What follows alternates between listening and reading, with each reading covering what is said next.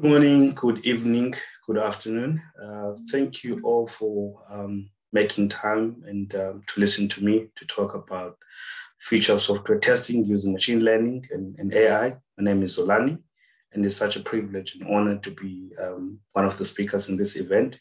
So uh, let's get in to see uh, what will be the agenda of today. Right, so uh, this is just a summary of like what I'll be taking you uh, today. So um, first of all, I think before we move any further, um, I'm sure you'll be keen to understand or to see uh, who's speaking. So I'll be giving a little bit of background about myself. I'll be giving a little bit of intro about uh, uh, on AI and machine learning, and also looking at how can we incorporate uh, machine learning and AI into, into QA using uh, concept and examples, um, right? And also kind of like to prove a value into why do we need machine learning and AI in software testing. And of course, doing a summary of, of everything as a conclusion, right? Let's get, let's get to it, right? So that's myself there, um, right? Uh, don't smile a lot, but sometimes I do smile.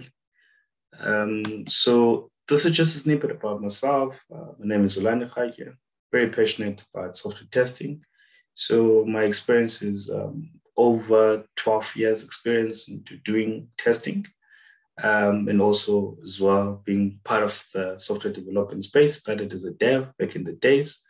Um, at, at, this moment, currently, uh, I work for Shoprite Group of Companies, part of their test center um, of excellence, TCOE. Right, outside work, talk outside work. Outside work, um, I like um, outdoors, go going out, um, being with friends, and um, and and yeah, and just being um, a super cool dad to my ten year old son, and uh, um, you know, so spending time with my dog as well. Right. So let's get into it. Right.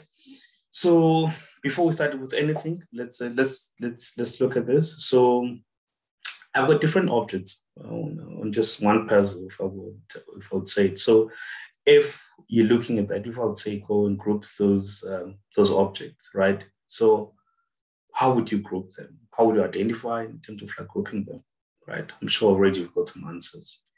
You, I think the best thing um, really is just to look at certain features that are common and then trying to segment them nicely and all of that. But some they might be similar, so you might get a little bit tricky right? Let's let's go into to, to the next one. This is just round one. Round two is actually easier than round one. So yeah, let's from from from the previous slide. So things are made, made a little bit easier now, where you're actually looking at one object. So of course, that kind of like eliminated all other objects. So you're looking probably a row one and a row two, right? So um, I'm sure you can pick it up where it kind of like belongs. So that was just, you know, because um, AI AI kind of like use similar principles as well. Right, let's get deeper. So a little bit of intro, right, about what I'll be doing today, as mentioned before.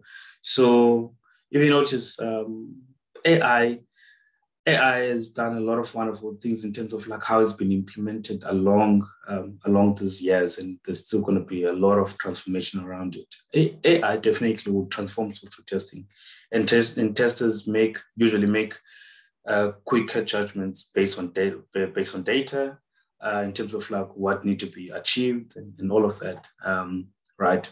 So today I'll just be demonstrating on how AI machine learning is directly applicable in, in, in, in testing, uh, in all aspects of testing, actually, right? From your manual testing, functional, non-functional, in, in, in all of that. So if you're looking at now, there's already a strong focus on, on, on, on quality, and there's still going to be more focus on quality just to make sure that, you know, uh, customers uh, have a good experience, you know, so that businesses can be, can do well and better, right? Right. Number one, uh, let's, let's look at the key differences between AI and machine learning, right? You probably be asking yourself, what are the big uh, main differences there? In order, I know some of you might, of course, be, be aware uh, or know those. So let's first look at their AI. So simply put, so AI is an ability of a machine to imitate intelligent human behavior.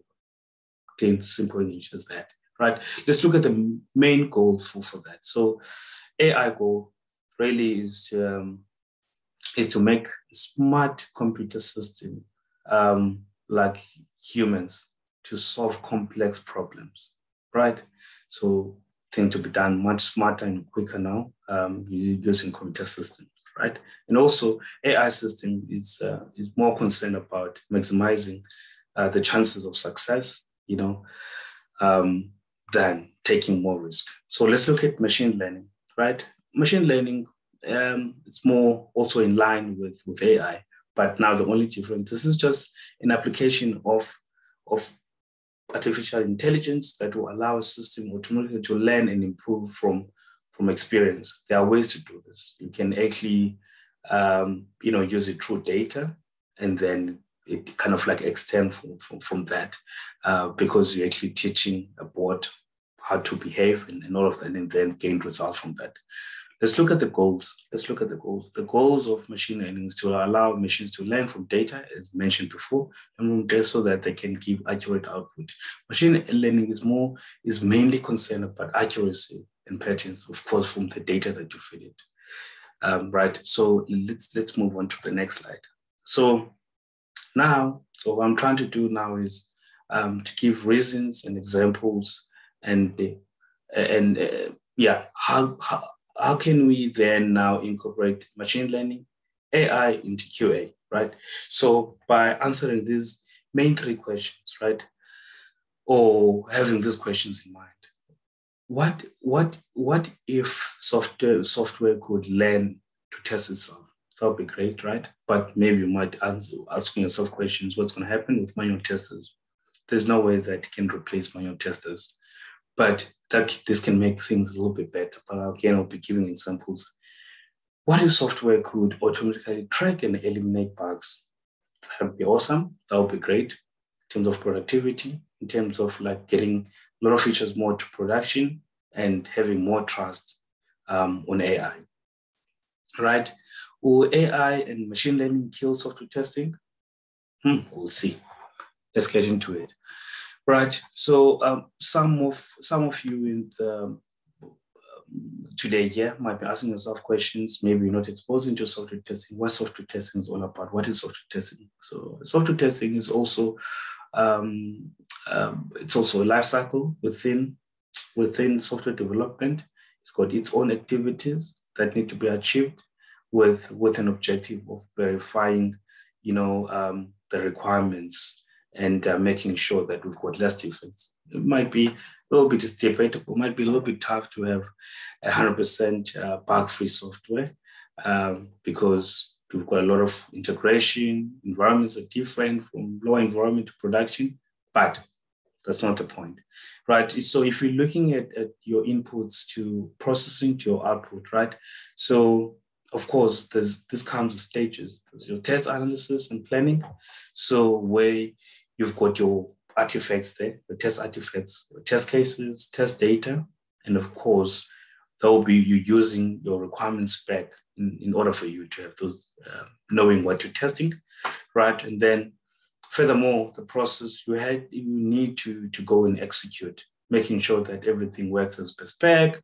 There's a process to do that, and um, of course, there will be um, a, defect management cycle that you have to do, logging defects, making sure they're fixed um, within specified sprints and all of that, depending on, on the setup of the team, right? And running your regression, depending on the maturity of your testing, automation regression, right? Your nightly builds and nightly builds and, and all of that. So you're looking at now your output. So output, of course, is going to be the results of whatever you'll be doing. And also having your own uh, artifacts, your, your test closure reports, defect reports, and depending on your environment, you know, um, in your environment. But the, the, the, main goal is to verify your inputs uh, as, as, as expectations, you know, compared to, to, to your to your requirements spec, right? Enough about software testing. Let's get in more to interesting stuff, right? Let's get into this. So you've seen that software testing slide. So now, then now, how do we then use AI to achieve the whole flow that I gave from input to output, right? So what makes it more trickier, the biggest differentiator now. So you're no longer looking at your inputs straight through that end to end to output, right? So now you're looking at that middle layer, which is, if you still remember the previous slide, that was processing. So now you can find different permutations into, into that, right? In terms of like, there's a, there's a lot of um, mapped end-to-end scenarios that you might get to get to, to the output, but there might be different ways to get to them, right? So, which is still with with your with your normal testing, you can still do it, but uh, the coverage gets more better because you you you get to to all the mostly to most of the um, permutations, right? So this is just this is just a, a, graphical presentation of like what I'm trying to explain using AI, right? So AI also make use of your element selection, which is this you would something that you would see from your traditional tools like your Selenium, uh, UFT, Karate. There's more even better ones like your uh, Katalon and, and all of that, where they actually grab your image, grab your elements from from your application, right, and then you it's it's a way to identify those elements and then writing your script and rerunning them and all of that. And times if the element name changes, then your script don't run anymore. You have to run that and uh, you know uh, keep on improving your script and, and all of that. So it becomes at times maintenance heavy, right? So mm, AI can also does also have that component, um, you know, which is element selection. This is just an example here of like login screen that have, of course, different, um, you know, elements on the screen, the login button, sign in, uh, text box, and, and all of that. So you can, you know, use that to kind of like to write your script. And then, yeah. So let's look at what AI is more popular for. So yeah this is test sequencing. So test sequencing, as you can see here, this goes back to the exercise that we did on the second slide. So where we look at um, different food and different those objects and trying to identify them uh, to clean up from, from the big group, right? So again, so here we, we were navigating around, uh, we're navigating to the shopping cart and rewards, right?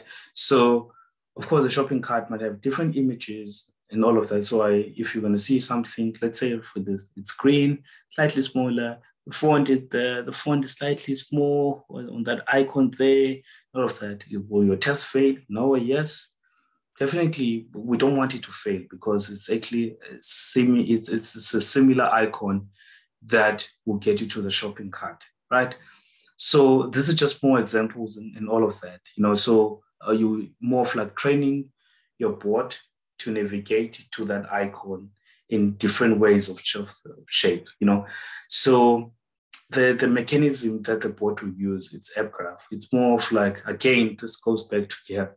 It's again saying, um, you know, there are different ways to get to that point there. So it's either you can go this way, either you can go there first and going the other way, and or you can go directly here and stuff like that. There'll be a lot of implementation what you can do using AppGraph. So this kind of like links together.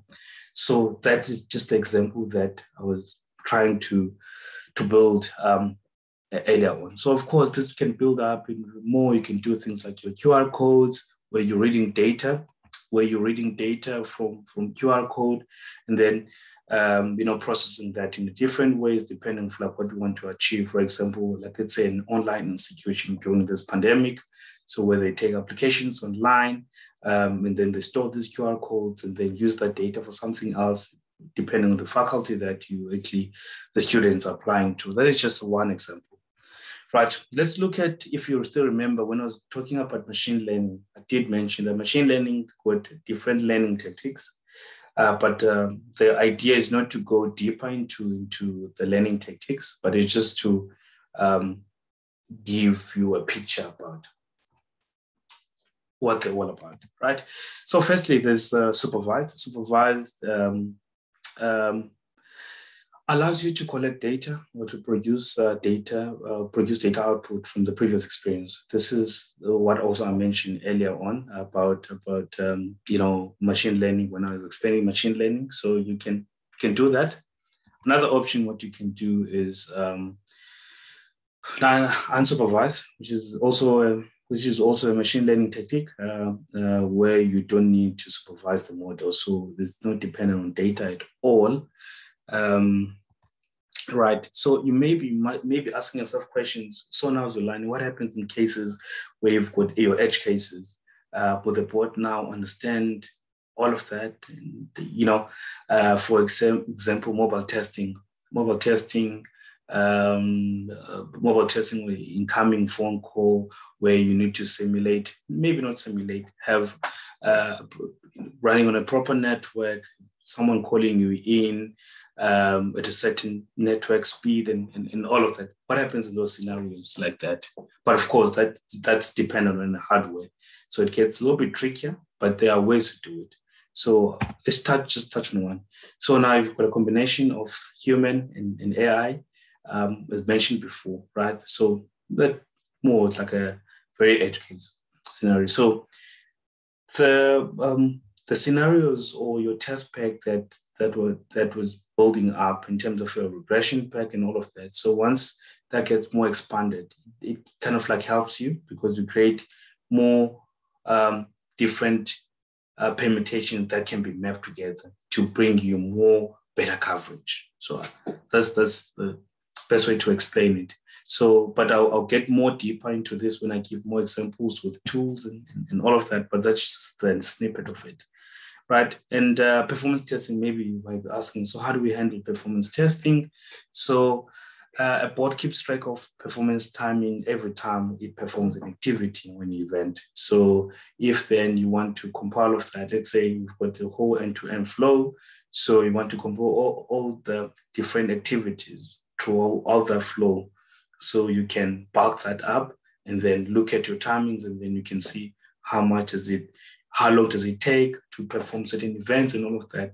It's quite flexible depending on like how would you like to configure it, right?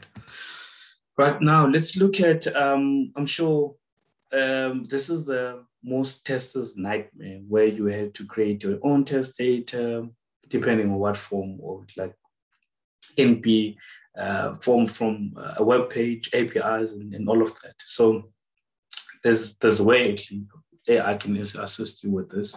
So uh, generating data. So it's more generative model. So um, there's, there's uh, Santiago, uh, works for Ultimate Software. Um, it's, it's actually a biggest pioneer for this. I wrote a lot of white papers around this and a lot of um, examples online, so you can go and check more around that. Very, very interesting. And recently, there's um, an example that he actually used with um, clustering logs from production and using cluster, clustering um, harness.io. So, so in a testing point of view, um, you can actually capture all of that data within seconds you know depending of like what what you're going to use it for. And also for sure it can get a little bit um, interesting and complex where you want to have your automated data that you need to to mask it and also to um, comply with POPIA and, and all of that. So it gets a little bit tricky but um, but you can still capture your data and then you write those rules depending on like what you want to do rather than capturing the, the data manually and that can be time, time consuming right? So of course the, the last one i would like to touch on is uh, competitive tracking. So competitive tra- tracking very similar to A/B testing. A/B testing, where at times you have like two separated models. You're not sure which one will actually add more results uh, into the market. So you decide to deploy them both and then see which one will perform. So this is a very good marketing uh, way to see, uh, you know, which one will give you more results. So, but now with an AI can do that better and even smarter way um, it can check your competitive intelligence and then drive results for you. For example, where you can go in production. So in production, go. I'm going to use an example of airline. Airline is quite a very competitive industry, so um, there might be a certain season where um, tickets are more, um, you know, they're selling more flight tickets, and then, but they want to drive traffic more closer to their side. They would obviously love to see what's happening on that side and uh, with their competitors, and then have more better ways in terms of like how they can improve their platforms and all of that. You can make use of AI. Of course, this comes with limitations, security limitations, and and all of that. But but yeah, that's what competitive tracking is all about. And then like now let's get more practical in terms of like what's being used out there um, with uh, with the big six, right? Uh, in terms of AI and machine learning. Firstly, let's look at Amazon. What Amazon has, has done in the past uh, that has made them, you know, different, you know, with uh, machine learning. So they've used an algorithm to sort out to sort fruit. Um, this is quite popular. It's, there's a lot of white papers around it as well. Um, uh, their warehouses. A good example is one as I've used before, but uh, Amazon has kind of like done that. Um, it's more automated with their bots. Right. So let's look at Twitter. So Twitter does this deep neural network system to find out which users want to see what type of content and, and all of that. And then it's got this well, well thought, designed, uh, ranked uh, in order in terms of like what you want to see. I'm sure some of you have seen that. So that makes use of AI as well. Um, where to consider things like your likes, tweets, content, user interaction, um, that they keep you see what you want to see. But let's look at Uber. Um, with Uber, they've also used AI in so many ways, but I'm just picking up one example. So improving their uh, location accuracy with sensing and perception, you know, uh, in terms of like their pickups, um, you know, drop off points uh, and, and all of that. So they be, became more accurate as uh, compared to the past uh, five years or so. Right, let's look at Facebook quite interesting one. So Facebook now they've done also they've implemented AI in so many ways. They they've got a big community for, for AI um, as well. You know, within that develop development community. I was just scraping online looking at that. So um, they've done they've actually introduced a feature where uh, they can understand what's going on in your photos and um, you know and then drive news feeds uh, around that, um, and also, of course, with ads and, and all those ad campaigns. Uh, IBM, as mentioned before, similar to um, the QR code, uh, they've also implemented way where um, like you can extract information from from pictures. Um, yeah, but um, it's more interesting where where you actually go look at it. So we look at Netflix. Netflix, you would notice there's that recommendation system based on like what you watch, based on your experience and like what you're doing and all that. So they've implemented AI in that regard. So let's let's get now a little bit more technical into, into testing in terms of like how do you then enable all of this, what I was talking about in terms of practicality. So the number of tools that you can use. So there's one that's quite popular that kind of like stand out for me totally AI based. Um, it helps you to do your end to end, as I mentioned before, with uh, the when I was talking about inputs and outputs and different permutations in that middle layer. So te- um, uh, testing can help you quite well with that. And also there's a different stack as well that you can also consider, which is Applitools. So Applitools for it's got a strong focus on visuals. So where you do your visual regression. So this of course depend on your on your industry. So where you can compare images, it goes down into uh, um, checking even small uh, pixels, and then it will fail and tell you which image um, it saw as a difference and, and, uh, and all of that. So it's quite interesting in that manner rather than a human being going and, and going and looking and all of that. So um, I've seen this working with a lot of uh, your advertising agencies where they do a lot of like ad campaigns and, and all of that. And uh, it's more of like uh, those flashy websites. And you can do it also with slots gaming, uh, where it's so image uh, driven with your slots. When you tap your spin, images will roll and then see if like in top in, in your reels, if like those images are uh, matching and all of that, if they were sliced correctly. But it, as a manual tester, it'll be difficult for you to, to, to see that, you know. So your uh, visual regression, visual testing, will do do all of that, and then maybe also some of you might be asking yourself a question: um, How does RPA then fits into to all of this? So, in, in simple terms, you know, AI is just like an umbrella term for all of these technologies, like your example also with RPA with RPA. Um, so the objective is, is the same. RPA teaches your your robots how to to handle thinking task, you know, and insert um, AI into into bots easily, leverage learning loop, and exactly how I mentioned before. If we're looking at the goals for AI, uh, on that I think on the slide four, and there's many more tools that you can consider. There's Sauce Labs, there's uh, TestIA, and many more in terms of like depending on your requirements on what you want to achieve, right? So let's look let's look at this now from from all this journey that I've been taking you through in terms of machine learning and AI, uh, from from what is it and what are the differences between the two, and to how it will fit into testing. Let's look at why do we need machine learning and AI in software testing? Big question, right? So let's look at this.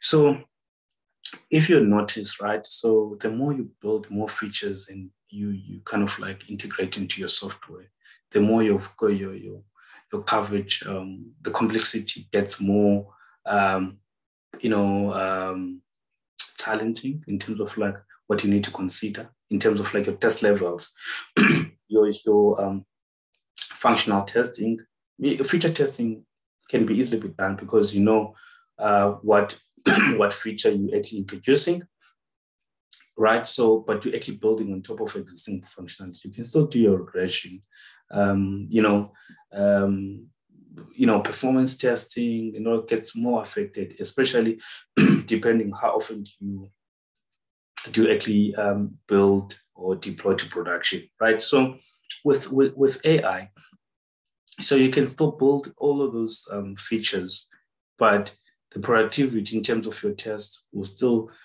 remain the same, right? In terms of like what you get from your tests when you run them compared to your traditional automation. Of course, this depends on like how it was implemented and what uh, you know tool stack you've got and all of that. But this can easily be achieved to to to limit the risk um, of having that complexity. You know, within when you're running your tests, if you add more more features, right?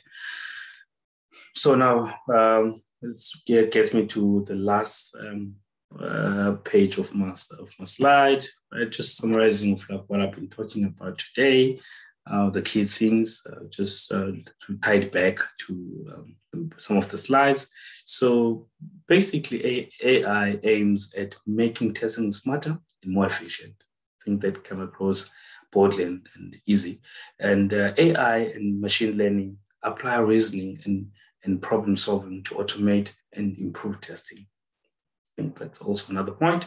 Um, AI in software AI in software testing helps to reduce time-consuming manual testing, so teams can focus on more complex tasks like creating innovative new features, innovative new features. For example, what I mentioned earlier on with um, some of the board being extension, being extension of a human being. I think there's also another learning technique that I've mentioned earlier on. So uh, a, a board can uh, can focus on those mundane, repetitive tasks, and then a human being can um, focus more on um, on the human thinking activities to make life much better in terms of like uh, team dynamics, collaboration, making things better, and, and all of that. So, and also let's let's look at another point, which is um, AI can change software testing, which can, um, you know, traditionally be a costly and time-consuming process. Correct.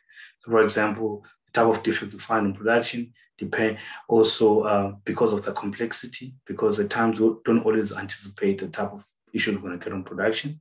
Number of reasons. The, envir- the environment um, uh, actually not the same compared to environment not being the same with the lower environments, um, test data, the way um, the databases are actually being orchestrated totally different from the lower environment. Um, you know, so we don't anticipate uh, some of, of, of the challenges that we've got in testing uh, because of like many reasons, uh, budget constraints in terms of like uh, for environment and uh, some of the things that maybe might be relating to technical debt, right? So let's look at the last one. By allowing uh, machine learning to learn um, code base and automatically and automatically generate and run tests, um, so testers um, are free to focus on their efforts elsewhere uh, while helping developers to uh, to deliver more reliable software with fewer bugs. It's exactly similar to, to the point that I just made uh, with innovative, uh, you know, involvement for testers. But now this is the different view, where now we can focus on on things like you know working much better with the team, uh, more focusing on agility, process driven um, items.